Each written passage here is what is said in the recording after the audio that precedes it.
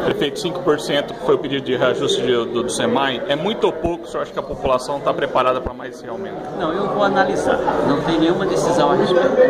Prefeito, mais uma vez, o senhor vai tra traz uma notícia de grande porte para Rio Preto, que é o financiamento de 200 milhões. E os, o mensagem no WhatsApp noticiário hoje uma suposta morte do senhor. Como é que o senhor vê esse tipo de, de notícia? O senhor, no WhatsApp, o senhor morreu num acidente numa rodovia.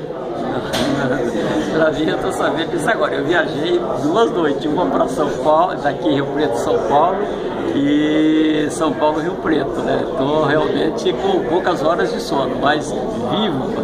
Como é que o senhor vê esse tipo de fake news, prefeito? Mas você sabe que isso não é a primeira vez, né? Não é a primeira vez. Mas o importante é que eu estou aqui com muita saúde, muita disposição, trabalhando com o Preto, dando uma boa notícia. E temos muitas outras boas notícias para dar, porque trabalhamos muito em 2017 e em 2018. Tá certo.